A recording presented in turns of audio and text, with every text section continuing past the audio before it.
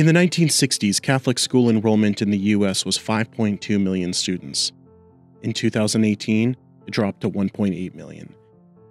Despite the nation's massive population growth, Catholic schools have continued to dwindle, losing nearly half a million students since 2006 alone.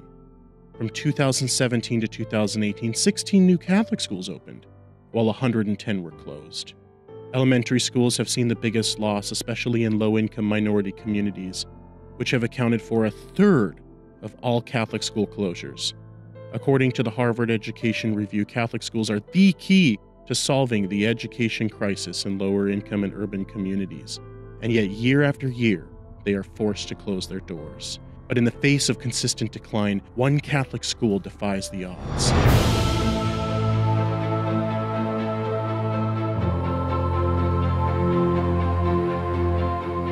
The most inspiring thing about St. Anne's are the people. The children are amazing, the parents are very warm and welcoming, our teachers are outstanding in every way, and our pastor, Father Antonio, is, is a wonderful pastor. My name is Sister Teresa Lynch. I am the principal here at St. Anne's School. At St. Anne's School, 70% of our students qualify for the free and reduced federal lunch program. So a lot of our families are struggling economically. We have people that actually buy shoes for our students, that buy clothing, underwear, that paid for their motel rooms for our students that have been homeless. Ordinary supplies that most of our students have. In Santa Ana, the dropout rate is almost 50%.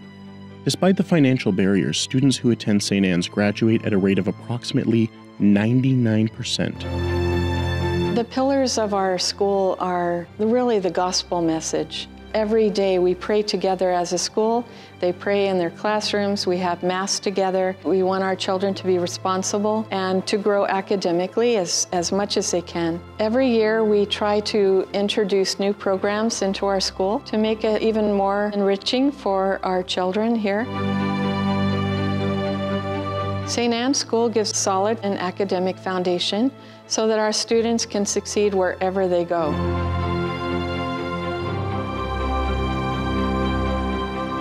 My dream for St. Anne's School is that every child in Santa Ana that wants to receive a Catholic education will be able to do that. That every family that wants their child to succeed and to grow in their faith and high academics will be able to come here.